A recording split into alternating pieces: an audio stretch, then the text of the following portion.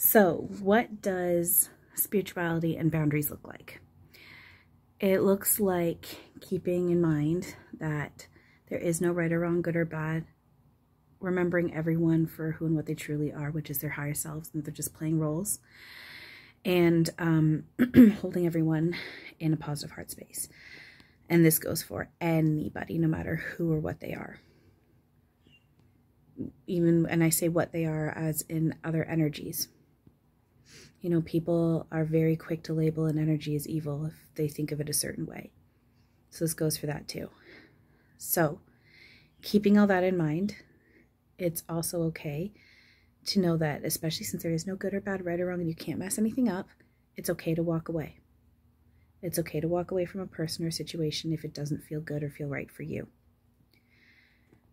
I really try not to utilize a block button, the block button, because that is very strong resistance, and resistance is futile. And whatever you resist or try and push out or block away is going to be pushed right back in your face until you decide to learn the lesson from it and move forward and up. At the same time, there are certain cases where I do utilize it. Um, I also recognize, though, that when I do utilize the block button, it's for me. Um, so I don't keep indulging in um, in the duality, particularly if it's pushing me into feeling like I want to debate. I walk away from that. And if I need to, need to use the block button, I do. So it's okay to walk away from a situation or a person if it's not feeling good. If it's not feeling good, it's okay to say, no, thank you, not right now. I'm done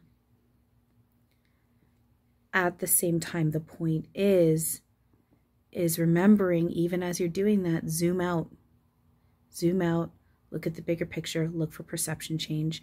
Remember they're just playing a role. Remember who they truly are what you truly are.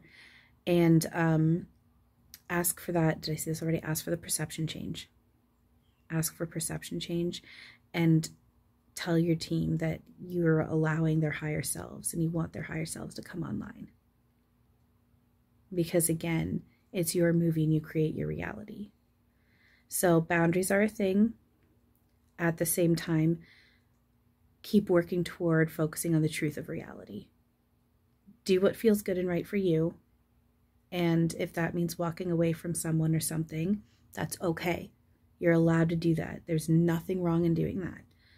At the same time, make sure you're doing your inner work, focusing in on your shit. Because at the end of the day, it's not them you are a mirror and they have their shit, but your shit's in there too. And unless you work on your shit, it's just going to keep coming back at you through other people, other things, other situations. It's not going to stop until you work on your shit. The internal, the external always reflects the internal. Energy follows thought, period. That's one thing I can say psychology definitely has gotten right. Energy follows thought. So, boundaries, good. Nothing wrong with them. But do your inner work. Because the thing is, the more you do your inner work and the more you raise up into a higher, higher vibration and the more real reality comes online and new earth comes online, you don't need the boundaries. You don't need them and you won't want them. Because again, boundaries equal separation, duality, and chaos, which is the illusion. It's not real. We won't need boundaries when New Earth fully comes online and we come into our full awareness. Remember, I told you telepathy is starting to come on. Telepathy is coming online. And it's, yeah, it's happening. And once telepathy kicks in, you think there's any place to hide? And you think you're going to be able to lock people out? Mm-mm. But the thing is, again, we vibrate so high that we don't want to or need to. So we've got, that's funny. Oh, I just realized that's actually really funny. Here's like a physical representation. Anytime like I'm, I'm Eric and Robin are like almost always, well, they're always with me, especially when I'm, um, Eric's always with, well, no, they're always with me, but they tend to, if they're going to be sitting behind me, the both of them, Eric's usually on this side and Robin's on this side. And I just realized I've got Robin here, like Robin, Peter, Robin's here and Eric's there. Oh, that's funny. I just noticed that. That's too funny. So yeah, anyway, um, boundaries are okay, but remember that's still working within the illusion and chaos and we're past that. I still utilize my boundaries, absolutely, because I'm still working on it, but I recognize, I recognize what that is. So recognize what it is, keep working on your shit, allow the higher selves of everyone to come online, and we won't need the boundaries anymore. But it's okay to utilize boundaries throughout this. But keep working on your shit and remember, how's my hair looking? keep working on your shit and remember it is always, there's always something in it that's a reflection of you. Okay? So boundaries good. Good is a judgment level. Boundaries are fine. There's no good or bad with boundaries. It's totally cool to utilize boundaries. But just remember that it's you, your shit, your movie. You're a mirror, but that's not your job to work on the part of being a mirror. It's your job to work on the reflection part, which is because that's your shit. It's your shit you need to work on.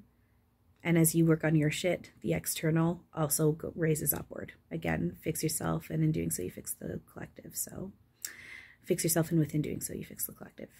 Words. All right, this is like video number three for today. I need to like stop. Oh, oh, oh, another thing too. Hmm, really quick, I want to add. Um, if you're in the perception that you're working with energy and you're waking up with injuries because you've had to battle. You're literally working with your own fear and ego projected as spirit. I can hear it going ding, ding, ding, ding, ding. Um, energy will not hurt you without, if you're waking up with marks on your body, it's because you participated in something and you've allowed it to happen. Even if it looks like it's a perception of a battle, it's a game that you agreed to play because you wanted to do it for various reasons from training to experience. Um, it's all play, it's all games, it's all illusion, chaos. It's, it's the illusion of chaos and duality. I've woken up with a few scratch marks on the back of my shoulder and hips from a certain somebody. but I again, it's not because he meant to hurt me. It's just stuff that happens and then it projects in the physical when I wake up. so it can this the thing is it is very real where the physical marks can show up on our bodies but if you're in the perception that you've been attacked or you've been fighting and that's why you have an injury again that's that's within your own perception so um Remember, there is no good or bad. Energy is not evil. Energy energy plays. It plays as we allow it to. And what humans judge as dense, dark, and evil and hell dimensions and hell layers, those are also just other simulations that we project consciousness into in order to play. And I use the word play because that's the least judgmental thing that I can think of. It's play. It's not good or bad, it just is. It's like playing a video game. And I I've been there with the whole hell dimension stuff and I've seen and I I've literally been there. Stuff has happened to me. And I'm still working on it, but I also can see how it's just roles. It's just roles. So and yeah yeah i was just gonna say and again it's we all agreed to do it it's it's roles that we all agreed to play and um when an energy is ready to stop playing within chaos and duality then it does so yeah anyway um I just went blank. I don't know what else I want to say except for I guess I'm done. I guess that's it. Um, all right, third video for the day that this needs to be it for today. No more videos. I don't want to overload you guys on stuff. So, oh, what is up? I, there's periods where I don't have the motivation to film at all. And then there's days like today where all I want to do is keep the camera on and keep talking. Ugh, it's ridiculous. Okay. All right. Um, I love you guys. Thank you for everything. And, um, so I'm just checking out my background. like, what can you guys see in the camera? All right. I love you guys. And as always, have a wonderful now.